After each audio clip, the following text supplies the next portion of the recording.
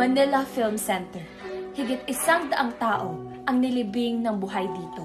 Kaya hanggang ngayon, nandun pa rin daw ang kanilang espiritu.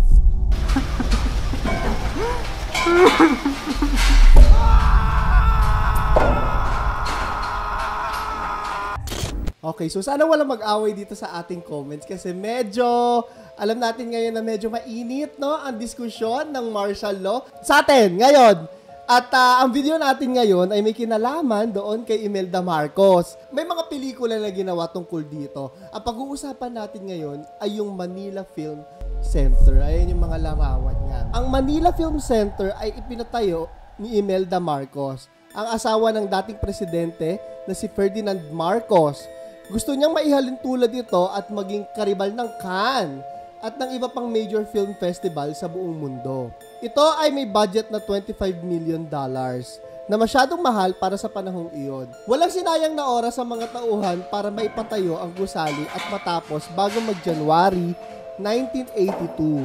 Mahigit 4,000 katao ang nagtrabaho buong araw para matapos yung Manila Film Center. Dahil sa pagmamadali ng pagpapatayo ng Manila Film Center, nagkaroon ng aksidente noong November 17, 1981. Alas 3 noon na madaling araw.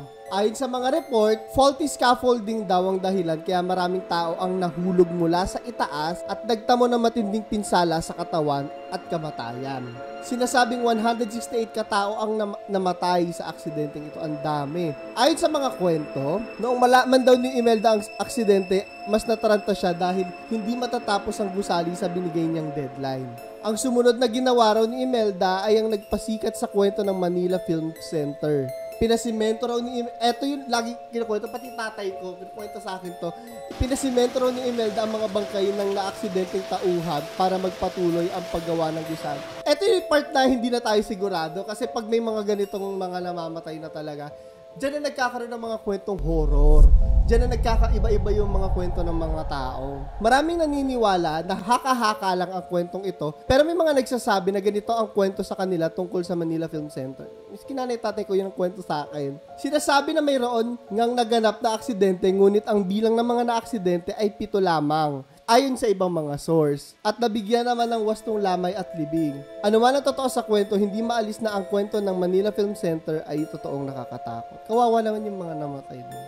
Okay, eto na. Dahil may namatay, may mga ghosts. Ang Manila Film Center ay isa sa mga pinakasikat at pinamumugaran daw ng multo sa Pilipinas. Ang trahedya na nangyayari noong ginagawa ito ang isa sa mga dahilan kung bakit ito tinatawag na haunted ang mga kaluluwa raw ng mga taong namatay sa trahe- trahedya ay natrap sa loob ng gusali. Tulad na lang ng pagkakatrap ng katawan sa simento. Yun yung horror story. Ang kaluluwa raw nila ay pagala-galas kasama ng kaluluwa ni Ben Benitez. Siya ang in charge sa construction ng gusali noong nangyari ang trahedya. Siya din daw umano ang sinabihan ni Imelda na simentohan ang katawan ng mga tauhang na aksidente. Namatay si Benitez sa hindi malamang kadahilanan pagkatapos ng mga nangyari. Hindi man alam kung bakit nasa loob ng Manila Film Center ang kaluluwa ni Benitez, sinasabi ng mga tao na ito raw ay dahil sa labis na kalungkutan at pagdadalamhati sa mga nagawa niya. Simula noong nangyari ang aksidente, maraming tao raw ang nak- nakakarinig ng mga sigawan sa loob ng gusali. May mga nakakakita rin ng aparisyon dito na sinasabing mukhang mga manggagawa raw at ang ibang mga nakabalot sa semento na para bang inuulit ang malagim na aksidente. May mga paniniwala rin na may mga sumpa raw ang gusali at ang nangyaring aksidente raw ang dahilan kung bakit hindi ito lumago at tuluyan ng napabayaan. Sarado na ang Manila Film Center. Hindi natin alam ang kinabukasan ng gusaling ito. Ngunit sa ngayon ay inaayos na ang lugar at inaalagaan ng mabuti. May mga guard na nagbabantay sa gusali kung saan may mga nakadikit ang mga safety at warning signs. Pwede pa rin naman makita at makuhaan sa labas ang Manila Film Center. Ngayon, kayo tatanungin ko, naniniwala ba kayo sa mga... Ah, ano, bago natin anuhin to ha, Ah, take it as fiction lang. Ayoko naman mag-away-away tayo dito. Mainit ang usapan ng martial law. Diyos ko, baka matalsikan ako ng ano, ng mga dugo ng mga nag-aaway dyan sa comment section. Pero, dahil nga sa nangyari doon, may mga experiences ba kayo, yung mga magulang ninyo, doon sa Manila Film Center? Yung mga nakapasok na ba doon? May mga nakakita ba? Pakita natin yan. O, tignan natin yung TikTok naman ng mga tao.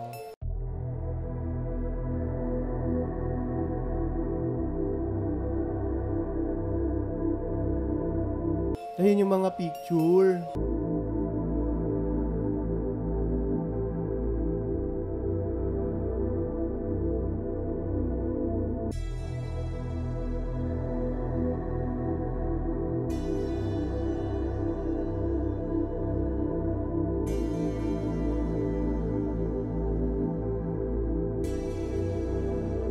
At teka, ito bago to oh. Betty Benitez died on a car crash shortly after the Col- Colosseum disaster.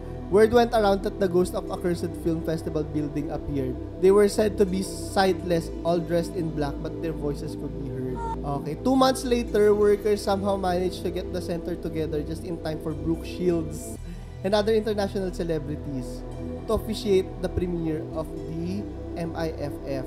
Nakakatakot yung mga picture. Manila Film Center. Higit isang daang tao ang nilibing ng buhay dito. Kaya hanggang ngayon, nandun pa rin daw ang kanilang espiritu.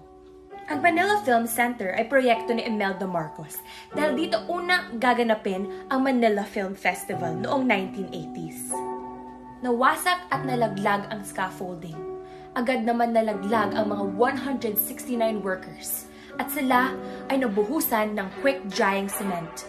Ang sabi-sabi ay hindi na daw tinulungan ang mga trabahador, kundi mas binuhusan sila ng semento.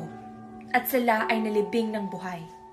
Dahil gusto ng mga boss na matapos agad ang paggawa nito. Naganap ang festival at naparamdam daw ang mga natabunan. May mga bisita na nakaamoy ng mabaho. At nagpakita daw ang mga namatay sa mga guests at sa kanilang mga katrabaho. May they rest in peace. Anyways, yun lamang video natin para sa araw na to. Ano pang mga misteryo ang gusto niyong talakayin natin sa mga susunod na video? I-comment niyo yan sa ilalim. No, horror man tayo, puro tayo horror. Kung may mga TikTok kayo, no, na gusto i-send sa amin, meron tayong ah, Facebook page. Do- Doon ko nababasahin lahat. Lagay niyo doon yung mga gusto niyong talakayin natin. Kung may TikToks, videos, links, lagay niyo doon. So, yun lang pong video natin para sa araw na to. Ito si Clara, the third. Love you guys.